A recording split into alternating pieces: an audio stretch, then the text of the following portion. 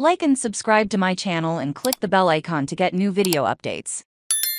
Villarreal demolition continues Athletic Club's miserable record without Inigo Martinez football Espana it has been a very mixed season for Athletic Club. They've won several games in a row, but have also been without a win on several occasions. That puts them in 8th place, a point behind European places. The 5-1 defeat by Villarreal on Saturday was their third loss in four games, a streak preceded by three straight wins. Inigo Martinez featured in all three of those wins, but missed that last winless streak. Martinez has been a key cog for Athletic this season, and if he hasn't he played due to various injuries or fitness issues, then has felt his absence. According to Sport, Ernesto Valverde's site, of won just 5 of the 19 games, in which Martinez didn't he feature in lost 9. However, there are also have something to say about Martinez's fitness issues, considering he has missed more games than he played this season. Unfortunately,